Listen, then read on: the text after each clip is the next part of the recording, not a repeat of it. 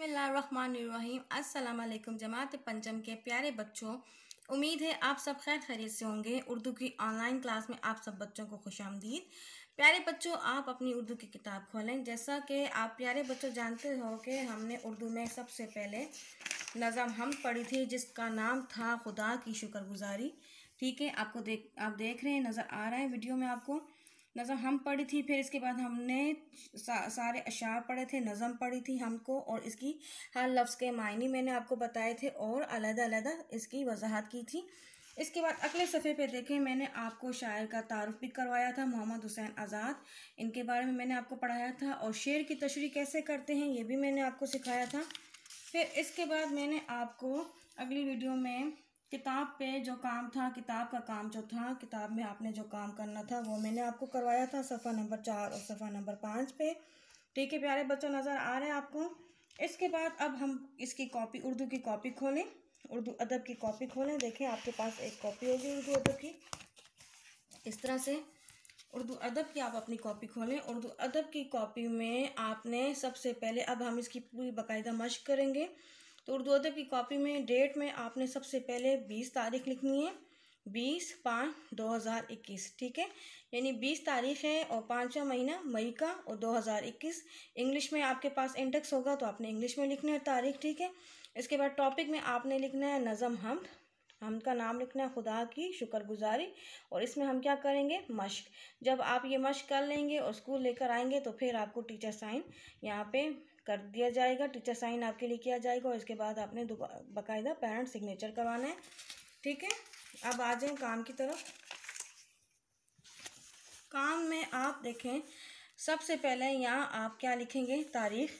मैं आपके लिए लिख रही हूँ, आप देखें, बीस मई दो हज़ार इक्कीस। ठीक है? आपने लिख देना है। ठीक है? बीस मई दो हज़ार इक्कीस। ऊपर आपने मार्कर ब्लू मार्कर के साथ, नीले मार्कर के साथ हेडिंग देनी है नज़म। आगे लिखना है हम। हम के बाद आपने हम का नाम लिखना है, खुदा की शुक्रगुजारी। ठीक है? आपने नज़म लिखना है, हम लिखनी है। हम के बाद नज़म का नाम आपने लिखना है, हम का नाम लिखना है, खुदा की शुक्रगुजारी। आपको लिखा हुआ नज़र आ रहा है। फिर आपने दे देना है उनवान। उनवान के आगे आपने लिखना है फ़हरिस्त।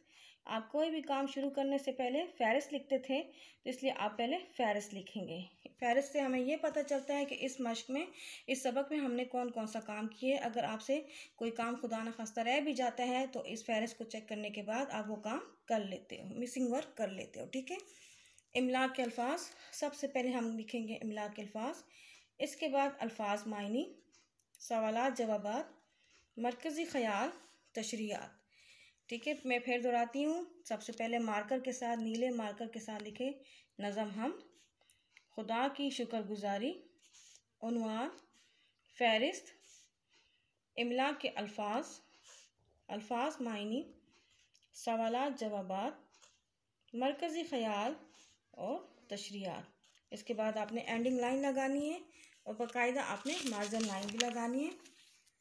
अगले सफ़े पे आ जाएँ। अगले सफ़े पे आपने फिर इसी तरह से बीस मई दो हज़ार इक्कीस लिखना है, ठीक है? और एक मार्जिन लाइन लगानी है। मार्जिन लाइन ये तो सैंपल कॉपी इसलिए मैंने छोटी सी लगाई है, लेकिन आपने बिल्कुल बाकायदा खुली मार्जिन लाइन इस तरह से लगानी है, जिस तरह से ये लाल लाइन का फासला है। ताकि अगर आप इस तरफ़ कोई गलती भी लिखाई में करते हो तो वो आपकी मार्जिन लाइन की तरफ़ लिखी जा सके। यहाँ भी आपने सिर्फ़ अपनी कॉपी में नीले मार्क और नीले इंक वाले पेन का इस्तेमाल करना है।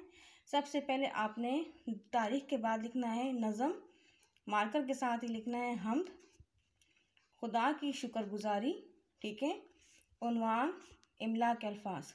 जैसा कि आप जानते हैं फ़हरिस्त में आपने सबसे पहले इमला के अल्फाज मैंने आपको लिखवाया था ना तो इसी तरह हम सबसे पहले इमला के अल्फाज करेंगे। ठीक है? इमला के अल्फाज में नंबर एक देखें बयान मेरे साथ साथ आराम से लिखें और इसको गौर से सुने। ये हम के, हम में से ये अल्फाज लिए गए हैं। बयान सदा। बरसात। अनायत। बरखा। समा। एक बार फिर से सुने। बयां, सदा, बरसात, अनायत, बरखा, समा। मुझे उम्मीद है, प्यारे बच्चों, आज का काम आपको अच्छी तरह से जहन नशीन हो गया होगा। इसको खूबसूरती के साथ कॉपी में लिखें। अगली ऑनलाइन क्लास में इससे आगे काम करेंगे। तब तक घरों में रहिए। अपना ख्याल रखें। अल्लाह हाफि